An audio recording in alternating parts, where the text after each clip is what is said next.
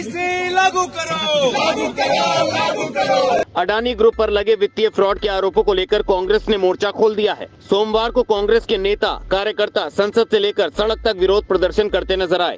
संसद परिसर में कांग्रेस पार्टी के अध्यक्ष मल्लिकार्जुन खड़गे समेत तमाम वरिष्ठ नेताओं ने गांधी प्रतिमा के पास प्रदर्शन किया।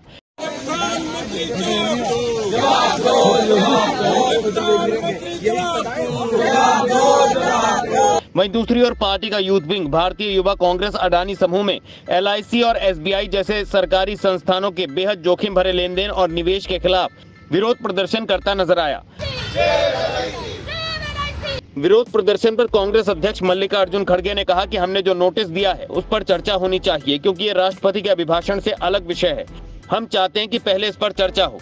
राष्ट्रपति के अभिभाषण पर हम चर्चा के लिए तैयार हैं, लेकिन पूरे देश में जो गड़बड़ी हो रही है, उस पर प्रधानमंत्री जवाब दें।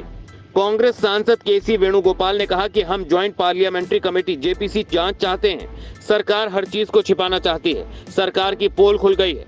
बता दें कि एक दिन पहले ही कांग्रेस महासचिव के सी वेणुगोपाल ने ऐलान किया था कि कांग्रेस पार्टी 6 फरवरी को पूरे देश में एसबीआई और एलआईसी के कार्यालयों के बाहर प्रदर्शन करेगी। दरअसल कांग्रेस का कहना है कि गड़बड़ी की वजह से अडानी ग्रुप के शेयरों में जो गिरावट आई है, उसका असर आम आदमी पर भी पड़ेगा। क्योंकि एसबीआई और एलआईसी ने भी इसमें निवेश कर रखा है। वहीं कांग्रेस समेत तमाम विपक्षी दलों का कहना है कि अडानी ग्रुप के मुद्दे पर बात करने के लिए संसद में उन्हें एक मिनट का भी समय नहीं दिया गया। सरकार जानबूझकर इस मुद्दे पर चुप है। विपक्ष मोदी सरकार से इसके बारे में जवाब चाहता है। वहीं कई सांसदों ने संसद में कार्य निलंबन प्रस्ताव रखकर इस मुद्दे पर अलग से चर्चा की मांग की है।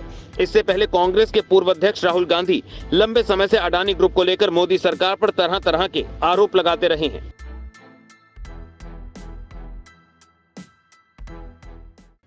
राजसत्ता टीवी पर आपको मिलती है देश दुनिया से जुड़ी एक से बढ़कर एक खबरें। आप भी जुड़िए, हमारे चैनल को सब्सक्राइब करिए और बेल आइकॉन दबाना मत भूलिएगा।